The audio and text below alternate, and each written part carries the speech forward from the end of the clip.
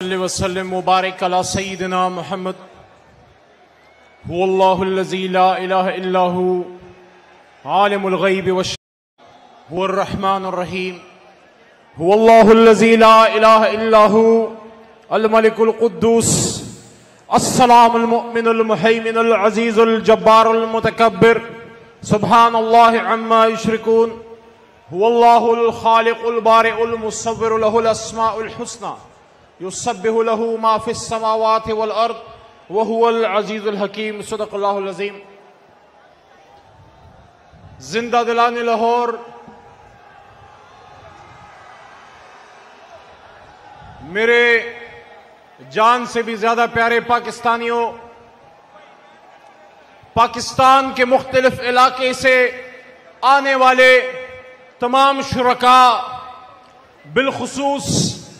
जो दूर पार के इलाकों से आए हैं आज, मैं लड़काना से आए हुए एक दोस्त से रास्ते में मिला अफ्तारी के वक्त।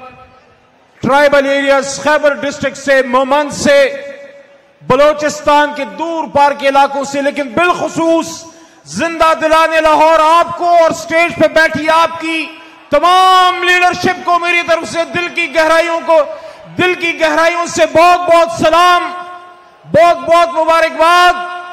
इस जलसे पे खासकर अपने पंजाब के सदर जनाब शफकत महमूद भाई और तमाम स्टेज पे बैठी लीडरशिप मेरे छोटे भाई मुराद सईद यहाँ पे स्टेज पे हैं। तमाम लीडरशिप है, सैफुल्ला भाई हैं, फवाद चौधरी, हमारी खातन मेंबरान, तमाम यहाँ पे जो है कमल बीबी सब मौजूद हैं। ये हम सबकी ज्वाइंट एफर्ट है। मैं ज़्यादा तवील बात नहीं करना चाहता, लेकिन आज से बहुत साल पहले जब इसी तरह बारिश का एक मौसम था तेईस मार्च 2013 को जो यहाँ बहुत ज़्यादा बारिश हुई थी, आपको याद होगा? खान साहब ने कहा था, मैं भी नहीं हिलूँगा। और यहाँ से कोई शख्स ना हिलने पाए। एक बंदा नहीं हिला था उस ग्राउंड से। और फिर अप्रैल फिर अप्रैल 2018 में कड़कती धूप में छह सात घंटे यहाँ हमने इंतज़ार किया और शाम को फिर महफिल लगी। फिर इमरान खान साहब ने यहाँ पे हम सबका खून और दिल गरमाया और बताया कि पाकिस्तान क्यों बना। लेकिन मेरे दोस्तों, मेरे पाकिस्तानियों और मेरे लाहौरियों, आप जो दादा की नगरी के बासी हैं, आप जो सारे मशरक के शहर के रहने वाले हैं, हमें आप पे फख्र है। आप पूरे पाकिस्तान का सियासी काबा हैं। ये लाहौर पाकिस्तान का दिल है और इस लाहौर ने बड़े सगीर की तारीख का रुख का धारा मोड़ा। जब 23 मार्च 1940 को यहाँ पे चार दांगे आलम मुतहदा हिंदुस्तान से मुसलमानों हिंद जिना की लीडरशिप में यहाँ पे इकट्ठे हुए। मैं अल्लाह का शुक्र अदा करता हूँ कि आज से तिरासी साल पहले जब कायद आज़म मोहम्मद अली जिना की सरकर्दगी में, जब कायद मिल्लत खान लियाकत अली खान सरदार अब्दुल रब निश्तर और मुसलमानों ने हिंद के तमाम जुमा ऑल इंडिया मुस्लिम लीग के लीडरान यहाँ पे मौजूद थे। मैं अल्लाह का शुक्र अदा करता हूँ लाहौरियों कि जिस तरह आप यहाँ पे सामने बैठे मेरा दादा पीर मोहम्मद खान जो ऑल इंडिया मुस्लिम लीग का एक वर्कर था जिना का साथी था, यहाँ मौजूद था। और मेरे लीडर इमरान खान साहब के वालिद, इकराम नियाजी साहब भी यही मौजूद थे। आपके दादा, आपके पुरखे भी यहाँ पे आए होंगे। आज हमने अपने आबा अजदाद की, उनकी रिवायत को ज़िंदा रखा। कि जब तेईस मार्च 1940 को हमारे बुज़ुर्ग यहाँ पे इकट्ठे हुए तो मेरे भाई और बहनों, उन्होंने पाकिस्तान बनाया था। पाकिस्तान बनाने की तहरीक का आगाज़ किया और आज हम पाकिस्तान बचाने निकले थे। वो कायद आज़म था। आज हम कायद पाकिस्तान इमरान खान साहब के साथ इस बात का अहद करते हैं कि जान तो जानी जानी है। या ये जान तो आनी जानी है। इस जान की कोई बात नहीं। वो शांत सलामत रहती है जिस तक से कोई मकतल को गया।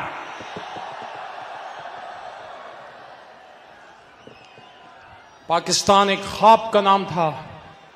हम सबने यहाँ मिलके आज से चौरासी, तिरासी साल पहले एक ख्वाब देखा, जो फिर सन सैतालीस में रियलाइज़ हुआ और पाकिस्तान बन गया।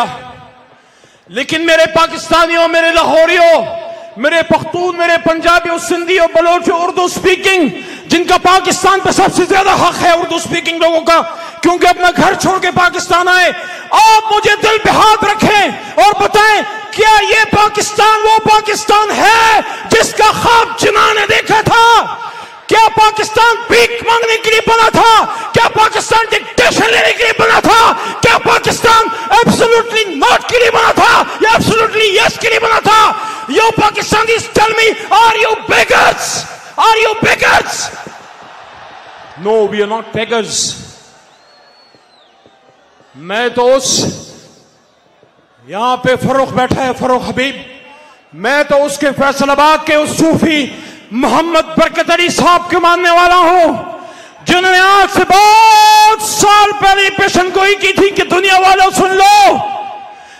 जंगल में तिंग के चुनता, एक मलंग, एक दीवाना तुझे याद आएगा, जो ये बात करता था कि पाकिस्तान की हार ना में दुनिया की हार ना होगी तो आज अगर इमरान खान ने एब्सोल्युटली नोट कह दिया तो क्या जुर्म कर दिया?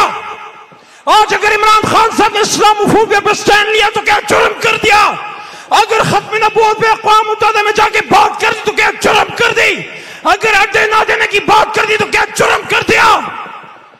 ये तो आपके और मेरे शार मशरक, अलामा मोहम्मद इकबाल, जिनके फिक्री वारिस वलीद इकबाल आज हमारे साथ हैं। उन्होंने ये बात की थी, लाहौरियों, भूल तो नहीं गए कायद का सबक। मुझे मर्दान और पेशावर में याद है, तुम्हें लाहौर में भूलो तो नहीं, भूलो तो नहीं, भूलो तो नहीं, याद दिलाओ गैरत है बड़ी चीज़ जहाने तगुदों में। गैरत है बड़ी चीज़ जहाने तगुदों में। पहनाती है दरवेश को ताजे सरेदारा। हम सबने यह हद करना है।